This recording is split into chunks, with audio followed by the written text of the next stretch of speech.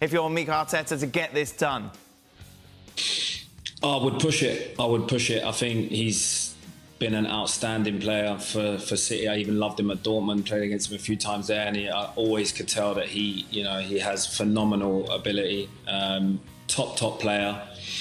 It does it does leave a, a little uh, sour taste that we, we just keep you know stealing players from City to to, to make Arsenal stronger. Um, I feel that that's a, a little bit I don't know how to explain it. I don't know how to. There's there's a little bit of it that doesn't sit right with me, but you can't deny the quality of this guy. Um, you just can't. So you you just got you have to do it. If you if you want to be the best, you have to get the best players.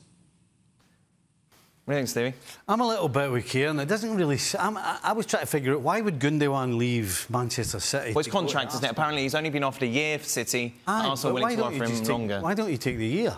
Well, get older then. Who knows what will happen? Listen, Gundogan, Gundogan can go back to Germany anytime he wants. Anytime he wants. Now he's And- linked and to been- Barcelona as well. Well, well, that would make more sense than going to Arsenal, to be honest. Really? I, guess, I get. Well, yeah.